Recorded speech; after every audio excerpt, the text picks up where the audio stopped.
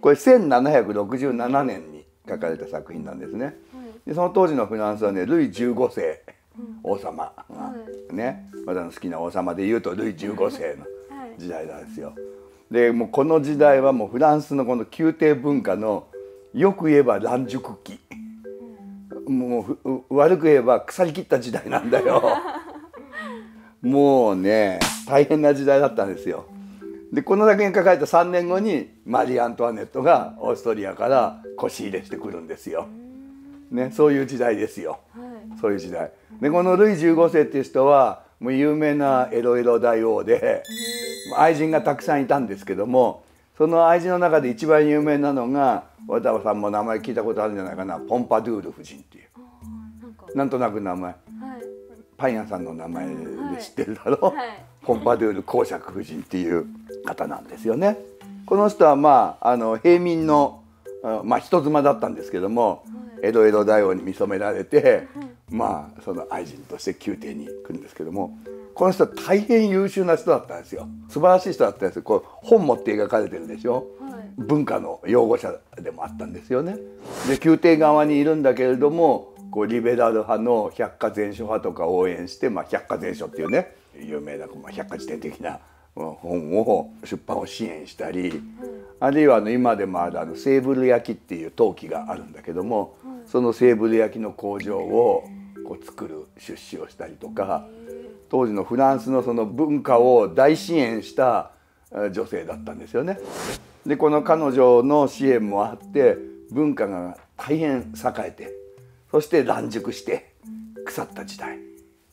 なんですよ。でこの時代に流行った美術の様式をロココ様式って言うんですよ。ロココっていうのは名前聞いたことない？ないない、はい、ロココ様式。ロココってねあのフランス語のロケイユっていう言葉から来てるんだけどロケイユってね見たことないかな？なんか人工のさこう洞窟みたいなの作る時にさ、はい、こうセメントに貝殻貼っつけて。あディズニーにありディディズニーあるあった。あのありそうだよ。あの「リトル・マーメイド」のとことかにありそうな感じ。ああいうこうなんか貝殻はっつけたこう石みたいなのをロケイユって言うんだよ。でそのロケイユっぽいっていう意味でロココって言うんだけどもピンとこないかもしれないけどロココの家具ってどんなのかっていうとこれウィキペディアに出てるやつ。こういうやつなんだよ。あこういうの好き。はい、ははそう。ほらなんかこういうと貝殻っぽい装飾が巻貝とかホタテみたいな感じの装飾がやたらくっついてんだよ、はっつけたみたいに。だからこうそれロケイユみたいだねっていうんでそれでロココって呼ばれたんだよね。でこれですよ。これでもいわゆる猫足。いわゆる猫足家具ですよ。だから一言で言えばベルサイユのバラの世界ですよ。和田さんお好きですか？好きです。あそうですか、はい、このロココが大好きなのはね大阪の昔のご婦人が大好きですよね。だ 昔の大阪の喫茶店って大概ロココ調なんだよ。インテリアが。大阪に引っ越した時にここはロココだって思う。なんでこんなに猫足のあれが多いんだって思ったもんですけどね。まあこういう時代ですよ。ベルサイユのバラの頃の時代なんですよ。でまあインテリアとか家具とかでこういうのが流行ったじゃない？じゃあ絵でどういうのが流行ったかっていうとこれがそのロココ絵画の最初の偉い人と呼ばれるアントワーヌ・バトーっていう人の絵なんだけどこういう絵なんですよ。貴族たちがさ外で遊んでるでしょ。はい、これはまあシテール島への巡礼の旅っていうんだけど、まあ、そのシテール島への巡礼の旅の形を借りて当時ブームだったアウトドアパーティーを描いてですよ。俗に言う園遊会ってやつですよ。これ18世紀ぐらいから18世紀の後半から流行り始めた遊びなんですよ。大アウトドアブームだったんですよ。今の若いやつだからやたらバーベキューしに行きたがるのと同じだよ。もう何かっつうと外でこういうのを開いて男女がイチャイチャするっていう。ねリア充のバーベキューパーティーみたいなことが大ブームだったんですよ。でこのこういう絵のことを雅な宴の絵っていうので画縁画っていうんだよ。それを確立したのがこのバトーっていう人なんだよね。でこのバトーの次に出てくるロココ絵画の有名なのがこのポンパドゥール夫人この肖像画を描いた人でもあるんだけどフランスはブーシェっていう人なんだよね。でブーシェっていう人もこういうその田園で男女がイチャイチャする絵を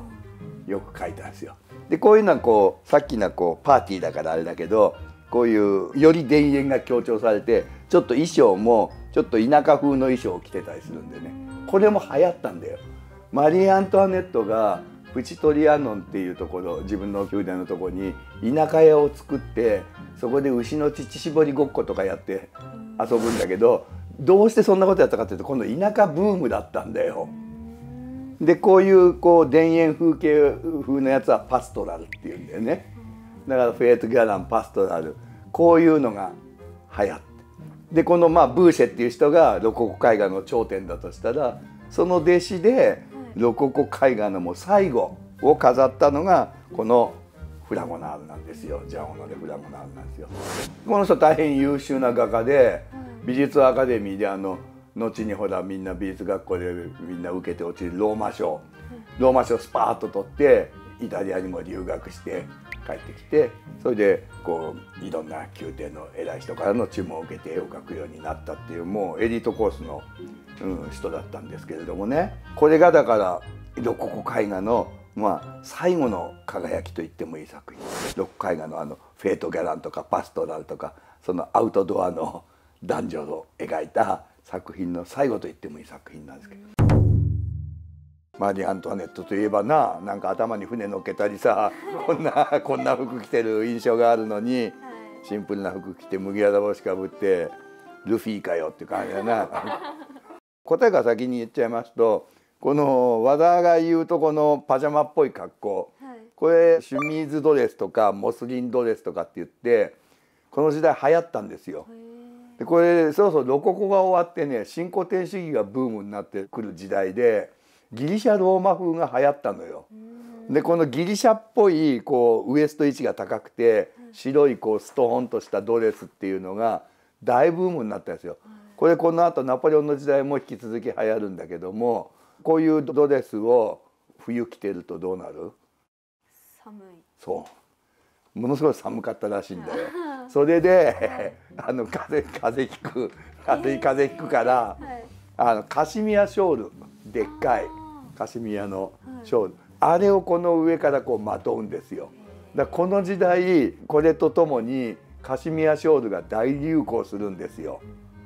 でカシミヤショールインドの上の方にカシミール地方っていうとこがあって、そこにカシミヤヤギっていうのがいるんだよ。そのヤギがさ春先毛が抜け変わる時によ岩にこうやってこすりつけてさ、あの下着を取るそれを集めて作ったのがカシミヤショールなんだよ。だからインドからそのカシミヤショールが大量に輸入されたんですよ。でイギリスがそれをガンガン輸入したんですよ。でそれが届いた港がペイズリーっていう